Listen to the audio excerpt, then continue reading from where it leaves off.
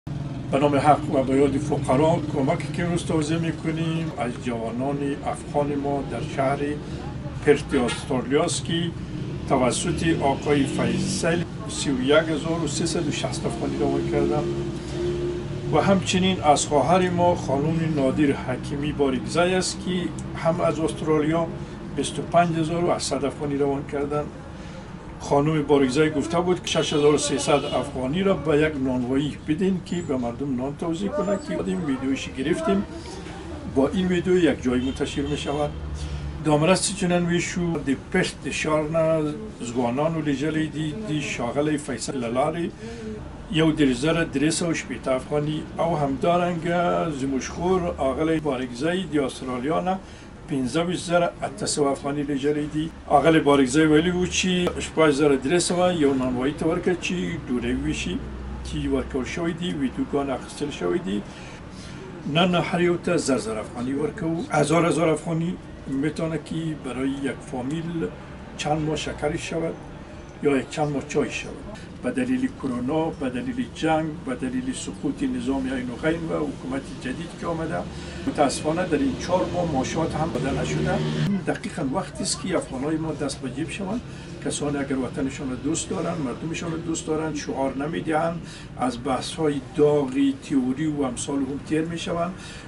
کمکهایشان را ما بدون تبعیض قومی،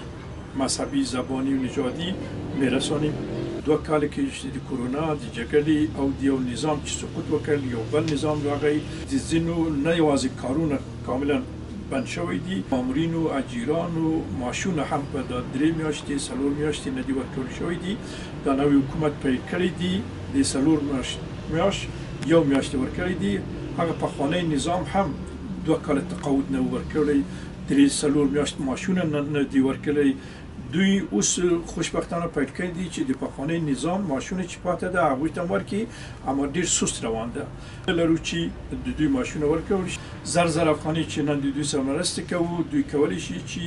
د څو میاشتې د شکر پیسې شي یا د چای پیسې شي دا ترخه چای او وچه ډوډۍ چې په یو شیرین چای تبدیلوو دا هم د ما په نظر یو غټه سوام ده چی د موژ په توان کی ده. اساسی دلیل چی خپره کیژی حسابدهی او شفافیت ده. د دی دپاره دی چی زه که اشتباه ونه کړم یواز سړی چی د مرستی چی ویشی په خپل لاس کی بیا ویدوګانی خپره کوی د شفافیت او حسابدهی په دلیل زه یم. بل اساسی دلیل دا ده چی هیوادوالو دا شیر کوی.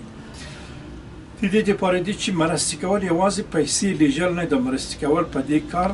خیریه کار، برخه اخیستل ده، شیر کول ده، خبرې کول ده، معلومات ورکول ده، په خپل اتحادیه کې، په خپل شورا کې خبرې کول ده او ټولو افغانانو ته باید موږ ووایو چې اوس وخت دی چې موږ د خپل خاورې سره، د خپل ولس سره مرستې وکړو، ټول نړۍ اوس د افغانستان د سره مرستې کوي، هغوی بیګانه ده غواړي چې مرسته وکړي او تاسو چې د دې خاورې بچی یاست، د دې خاورې لور یاست،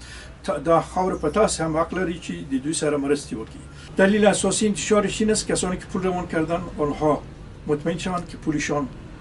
توزیع شده به افراد مستحق توزیع شده خیانت نشده چون میلیونها افغانی یا دلار آمد در کشور ما در جیب چهار تا دزد رفت